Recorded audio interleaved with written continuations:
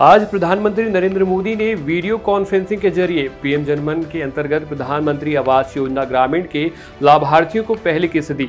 साथ ही पीएम ने लाभार्थियों से बातचीत भी की। पीएम मोदी आज दोपहर करीब साढ़े बारह बजे पीएम जनमन यानी प्रधानमंत्री जनजाति आदिवासी न्याय महाअभियान के अंतर्गत प्रधानमंत्री आवास योजना ग्रामीण के लाभार्थियों से वीडियो कॉन्फ्रेंसिंग के ज़रिए जुड़े और उनसे बातचीत भी की, जिसमें लाभार्थियों ने सरकारी योजना का लाभ मिलने के बाद उनके जीवन में आए परिवर्तन के बारे में बताया।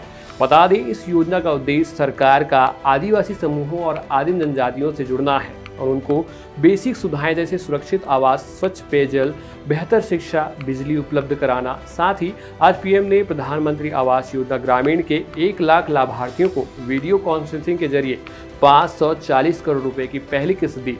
साथ ही पीएम ने वीडियो कॉन्फ्रेंसिंग के ज़रिए छत्तीसगढ़ की जसपुर में इस योजना की लाभार्थी मन कुमारी के साथ बातचीत भी की। मन कुमारी जी आपको कौन कौन सी योजनाओं का लाभ मिला है? मेरे को प्रधानमंत्री आवास योजना के तहत मेरा पक्का घर भी बन गया है सर। मेरे घर में बिजली भी लग गई है और नल जल से पानी भी आ रही है और गैस भी मिला है सर। अच्छा मन कुमार जी पानी और गैस मिलने से आपके रोज़मर्रा की ज़िंदगी में कितना बदल आया, क्या फ़र्क हुआ, क्या आसानी हुई? सर, हम लोग पहाड़ी कुरवा हैं, पहाड़ी क्षेत्र में रहते हैं।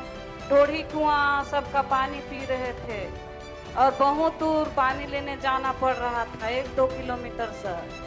और जिस कारण हम लोग गंदा पानी पीने के कारण उल्टी दस जा रहा है।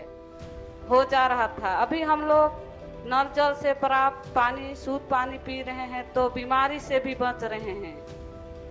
और समय का भी बचत हो रहा है। और गैस से हम लोग बहुत जल्दी खाना बना रहे हैं। पहले हम लोग लकड़ी से खाना बनाते थे और घर में धुआँ हो जा रही थी।